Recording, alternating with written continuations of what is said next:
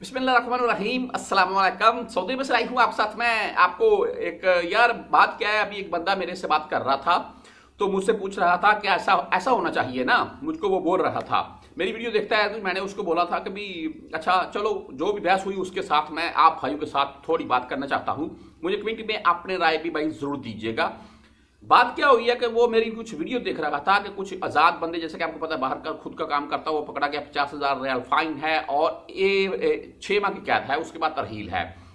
اس کے علاوہ سائے خاص وغیرہ یا کوئی دوسرے بندے پکڑے گئے تو ان کا بھائی ساتھ میں خروج بھی لگا دیتے ہیں یعنی کہ اسی ٹائم۔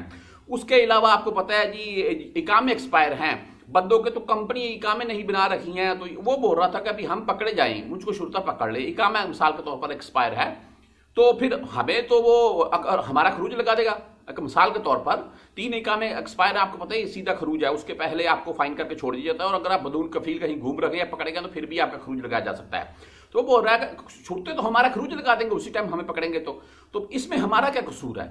قصور تو کمپنی کا ہے، کفیل کا ہے مسسے کا ہے، جس نے ہمارے اکامے ریویو کیے ہیں۔ تو بھائی، ہمارا کیا قصور ہے؟ ہمیں کیوں پکڑ رہے ہیں؟ پکڑے ان کو۔ کفیلوں کو پکڑے، کمپنی کو پکڑے، مسسے کو پکڑے، ان کو بولے اپنے ورکر کا تم اکامہ کیوں نہیں لگا رکھے ہو؟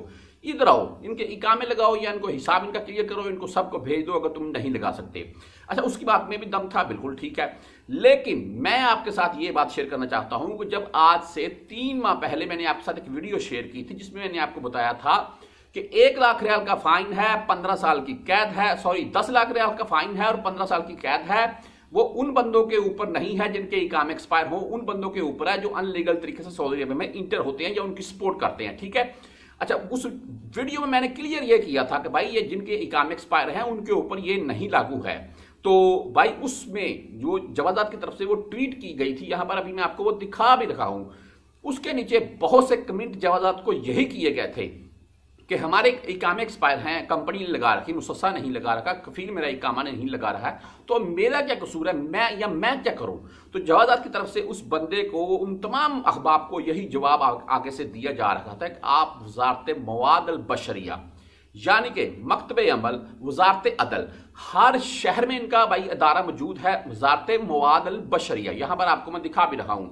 ان کے پاس چلے جائیں۔ جوازات نے ہر بندے کو آگے سے یہی جواب دیا تھا۔ ان کے پاس جائیں، وہاں پر اپنی شکایت درج کروائیں کہ میرا کفیل میرا اکامہ نہیں لگا رکھا ہے یا میرے پیسے نہیں دے رکھا ہے، تو میں، میرا حل نکالا جائے۔ تو وہاں پر آپ کی درخواست کے اوپر عمل کیا جائے گا، ایسا بالکل نہیں ہوگا آپ وہاں پر درخواست دے دیں اور آپ کا کفیل آپ کو جاب سے نکال دے گا۔ ایسا نہیں ہوگا۔ جاب آپ کی جاری رہے گی، آپ نے درخواست دی ہے، آپ کا جو بھی معاملہ ہوگا، آپ جس اگر آپ حق کے اوپر ہوئے تو آپ کے حق میں ہی فیصلہ سنایا جائے گا۔